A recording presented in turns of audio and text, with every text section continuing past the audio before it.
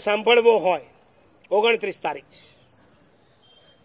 એના પાંચ ભવની અદ્ભુત કથા વૈરાગ્યના શિખરે પહોંચતા પહેલા વૈરાગ્યની તળેટી ઉપર આવવું પડે એ સાંભળ્યા પછી તમે કહેજો કે તમે લોકો વૈરાગ્યની તળેટી ઉપર પણ છો ખરા? ભીતરમાં ક્યાંય વૈરાગ્યને પ્રવેશ કરવા નથી દીધો? ચોવીસ કલાકમાંથી એક કલાક વૈરાગ્ય સાંભળવા માટે છે. ત્રેવીસ કલાક જેને સંસાર માણવા માટે હોય, એને એક કલાકના વૈરાગ્યની ક્યારે અસર થઈ શકે નહીં. ઉલટું, એક કલાક સંસાર માટે ત્રેવીસ કલાક વૈરાગ્ય મારા સામે એવું બની શકે? યસ બની શકે.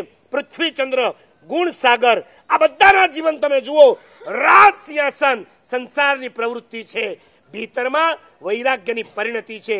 ગુણ સાગર લગ્નની ચોરીમાં છે, સંસારની પ્રવૃત્તિ છે, ભીતરમાં વૈરાગ્યની પરિણતિ છે અને વૈરાગ્યની પરિણતિ હોવાના કારણે રાજ પર પૃથ્વી ચંદ્રને કેવળ જ્ઞાન અને લગ્નની ચોરીમાં ગુણ સાગરને કેવળ જ્ઞાન તમે ક્યાં છો એ મહત્વની વાત નથી. તમારા ભીતરમાં શું છે બહુ મહત્વની વાત ઉલટા ચલતા હૈ.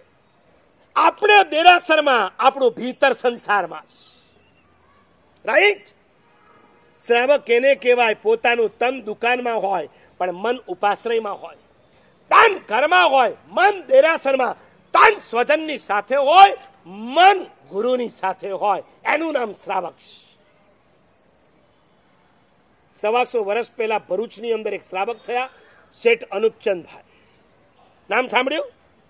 ભરૂચ કેટલા ગયા સમડી વિહાર ઉની સુરત, બરાબર છે?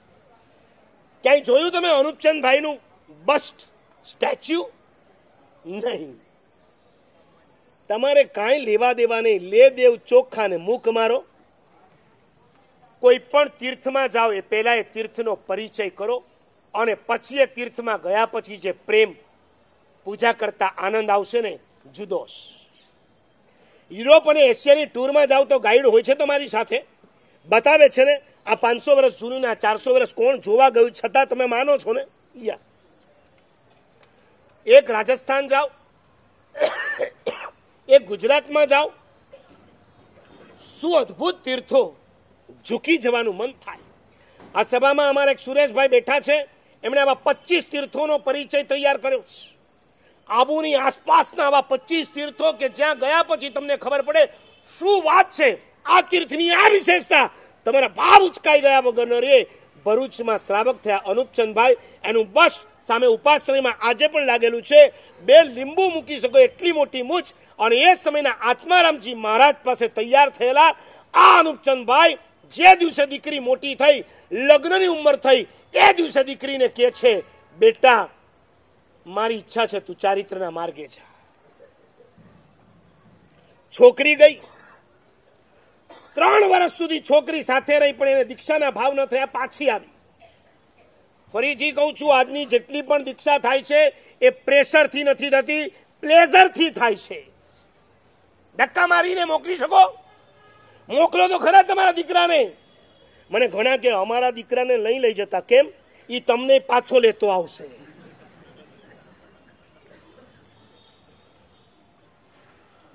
વર્તમાનની દીક્ષા નો પ્રેશર બટ પ્લેઝર આનંદથી થાય રંગે ચંગે થાય છે.